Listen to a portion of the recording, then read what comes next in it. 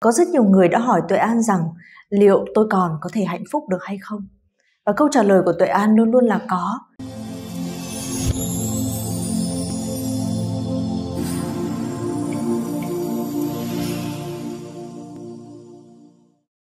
Bạn thân mến, có rất nhiều những người phụ nữ và kể cả là những người đàn ông, họ phải trải qua những cái rông bão rất lớn trong cuộc sống hôn nhân mang tên ngoại tình. Và có rất nhiều người đã hỏi Tuệ An rằng liệu tôi còn có thể hạnh phúc được hay không? Và câu trả lời của Tuệ An luôn luôn là có. Cho dù điều gì có thể xảy ra thì hạnh phúc vẫn là luôn luôn ở trước mắt bạn. Chỉ cần bạn chọn nhìn ra nó chứ không nhìn những khổ đau, không cho cái khổ đau đó quyền lực để nhấn chìm bạn nữa mà thôi vậy nên kể cả là bạn có phải à, chịu đựng một cái sự phản bội nào đó bạn đã từng phải trải qua một cái biến động nào đó trong cuộc sống trong mối quan hệ thì bạn vẫn luôn luôn có cái quyền lựa chọn hạnh phúc của bản thân.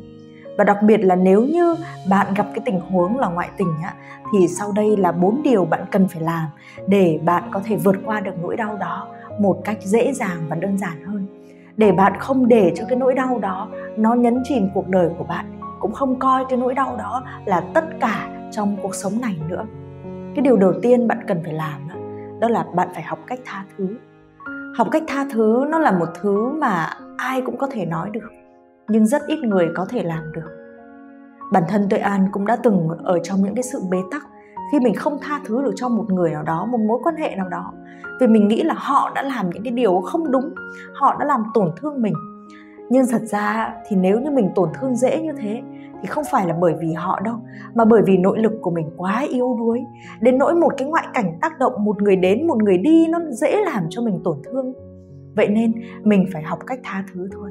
Tha thứ cho những cái yếu kém của mình, tha thứ cho những cái tổn thương của mình, tha thứ để mà chấp nhận được chính mình nhiều hơn, để mà mình có nhiều năng lượng tích cực hơn, để rồi mình cũng có thể dễ dàng chấp nhận và tha thứ được cho đối phương hơn. Cái điều số 2 mà chúng ta cần phải làm, đó là chúng ta cần phải học cách buông xả. Điều gì xảy ra trong cuộc đời này nếu như chúng ta cứ nhặt mãi nhặt mãi nắm mãi nắm mãi mà không có biết buông? Giống như là bây giờ mình mang một cái ba lô đi và cứ mỗi khi mình đi đâu mà mình buồn á, thì mình lại nhặt một cục đá mình bỏ vào cái ba lô đó. Mỗi khi có một cái điều gì không vừa ý thì mình cũng lại nhặt một cục đá mình bỏ vào cái ba lô đó và nếu như vậy á, thì chẳng mấy chốc chỉ vài ngày thôi. Cái ba lô của mình kiểu gì nó cũng sẽ nặng trĩu và mình sẽ phải cong lưng để mình gánh cái ba lô đó. Và khi mà mình gánh một cái ba lô rất là nặng thì đôi khi mặt mình còn không ngẩng lên được để nhìn thấy bầu trời xanh như thế nào nhìn thấy cây cối nhìn thấy vạn vật xung quanh thế nào. Rồi mình sẽ kiệt sức rồi mình sẽ buồn mình sẽ chán. Mà đôi khi trong cuộc đời này chúng ta đang mang vác những cái ba lô rất nặng mà chúng ta không biết cách buông xuống bớt những cái thứ không còn cần thiết nữa hoặc thậm chí là những thứ rác rến ở trong cái ba lô đó. Vậy thì để chúng ta hạnh phúc chúng ta cần phải kiểm tra xem cái ba lô của mình cái hành lý mà mình đang mang á, nó đang có những cái thứ gì. Có những cái gì chúng ta không xài nữa chúng ta hãy bỏ nó xuống đi. Có những cái gì mà nó đã cũ kỹ nó đã hỏng hóc nó đã bốc mùi thối rồi giờ thì chúng ta cũng phải biết cách bỏ nó xuống đi một mối quan hệ độc hại nào đó, chúng ta cũng phải biết buông nó xuống đi. Và khi chúng ta biết buông xuống được thì tự nhiên chúng ta sẽ nhẹ hơn. Khi chúng ta nhẹ hơn thì chúng ta sẽ có nhiều năng lượng hơn để đi xa, để đi vui trong cuộc sống này. Vậy nên nếu như bạn đang mệt mỏi, hãy nhìn xem bạn có thể buông xuống bớt những điều gì trong cuộc đời này. Và đôi khi cái buông lớn nhất của chúng ta lại là những cái thành tựu mà chúng ta có thể đạt được bởi vì thành tựu không phải là chúng ta có thêm đâu, mà đôi khi thành tựu là chúng ta biết buông xuống bớt. Buông xuống bớt một vài suy nghĩ tiêu cực. Buông xuống bớt một vài những cái sự mắc kẹt vào một ai đó. Buông xuống bớt một vài những cái niềm tin sai lệch rằng hạnh phúc của bạn là của họ. Thế nên nếu như họ xa bạn thì bạn không thể hạnh phúc. Hãy buông xuống bớt những cái niềm tin hạn hẹp đó để bạn tin một thứ rằng hạnh phúc nó ở xung quanh bạn này, nó ở ngay cả bên trong bạn nữa và bạn chỉ cần tĩnh lặng, bạn nhìn ra là bạn sẽ thấy nó thôi. Và điều thứ ba, đó cũng là điều mà tôi vừa mới nói với bạn đó. Hãy tìm ra những cái hạnh phúc ở bên trong mình, ở xung quanh mình. Hãy nhìn nhận ra nó. Đôi khi nếu như chúng ta tập trung nhìn vào khổ đau khổ đau này nó sẽ phát triển, nó sẽ rộng, nó sẽ lớn hơn nữa. Nhưng nếu như chúng ta biết cách ngừng tập trung nhìn vào khổ đau, mà biết cách chuyển sang tập trung nhìn vào những điều hạnh phúc chúng ta thấy à mình cũng có nhiều điều để hạnh phúc đó chứ. Mình ờ, còn có những mối quan hệ khác này. Mình còn cơ thể này này. Mình còn một công việc này. Mình còn rất rất nhiều điều luôn. Và nếu như bạn ngồi xuống và viết những điều biết ơn về những cái thứ mà bạn đang à, nhận lãnh trong cuộc sống này, một cơ thể, một hơi thở, một căn nhà, một đứa trẻ, thì sẽ có rất rất nhiều điều mà bạn có thể viết xuống đó vậy nên từ đó bạn cũng sẽ nhìn ra nhiều điều hạnh phúc.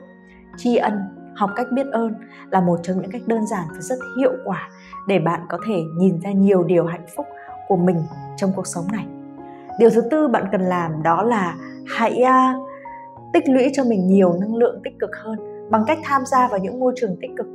Nếu như chúng ta đang ở trong một môi trường cũ độc hại thì rất dễ chúng ta sẽ bị nhấn chìm trong cái môi trường đó đặc biệt khi nội lực của chúng ta chưa đủ mạnh nhưng nếu như chúng ta nhận ra rằng mình cần phải rèn luyện, thì hãy tìm cho mình một môi trường. Đôi khi môi trường còn mạnh hơn cả ý chí trong cái giai đoạn đầu mà chúng ta rèn luyện bản thân nữa. Thế nên hãy tham gia vào một môi trường mà có những người thầy, có một phương pháp đúng, có những người bạn để đồng hành cùng với chúng ta, dẫn dắt và nâng đỡ, hỗ trợ cho chúng ta. Môi trường là một điều vô cùng quan trọng. Điều thứ năm bạn cần làm đó là hãy kiên trì bền bỉ và đừng bao giờ bỏ cuộc. Trong hành trình để quay trở về, chữa lành nỗi đau của mình nó cũng cần rất nhiều sự kiên trì và bền bỉ. Hành trình để thực hành lòng biết ơn cũng như vậy. Hành trình để thay đổi bản thân cũng như vậy. Và thay đổi bản thân á, để mình trở nên tốt hơn không bao giờ là một giải pháp sai lầm cả. Nó luôn luôn là một điều đúng đắn. Bởi vì cái gì trong cuộc sống này rồi cũng sẽ đổi thay. Nên cũng sẽ có những điều cũ kỹ có những nỗi đau mà bây giờ bạn cũng cần phải chữa lành cần phải thay đổi nó rồi đó hãy đến với 28 ngày chữa lành nỗi đau. Nếu như bạn đang cần tìm một môi trường đúng này, đang cần cài đặt lại những niềm tin đúng này, và cũng à, đang cần có một à, nơi để bạn rèn luyện nghị lực của bản thân mình, nâng cao cái nội lực của mình lên, thì 28 ngày chữa lành nỗi đau là một khóa học nó rất phù hợp để dành cho bạn. Đây mặc dù là một khóa học online thôi, nhưng nó là một khóa học online rất đặc biệt.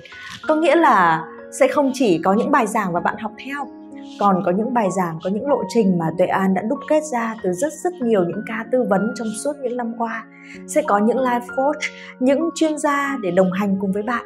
Và bạn cũng sẽ có những trợ lý của lớp học sẽ luôn luôn theo sát bạn nữa. Vậy là bạn đã có một môi trường rồi.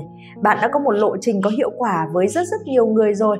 Và đương nhiên bạn cũng sẽ không ngoại lệ đâu. Còn lại là bạn có chọn không thôi bạn có chọn sẽ đi lên cái chuyến tàu 28 ngày chữa lành nỗi đau đó.